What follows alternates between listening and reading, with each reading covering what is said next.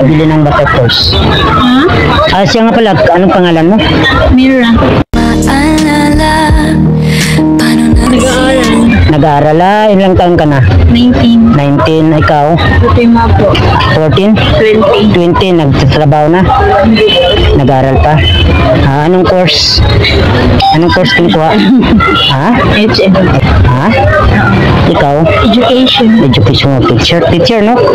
Ah, sanay ka magturo. Hindi. Siyempre, pag teacher, talagang yun, talaga magturo. Second year pa lang yun. Oh, pero magturo talaga, di ba? Nagde-dem. Ah, nagdi-demo. Pero kahit kung paano, may alam ka na magturo. Meron naman. Oh. Pero pwede makuturuan kung paano magmahal. Paano bang magmahal?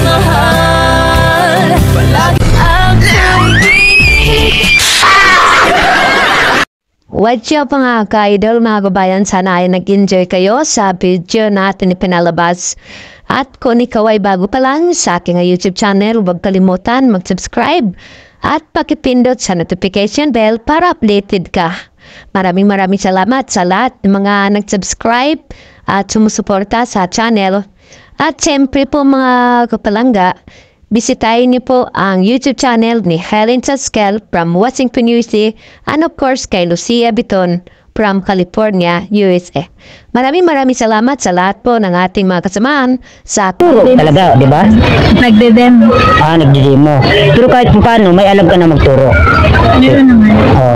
Pero pwede makuturuan kung paano magmahal. mahal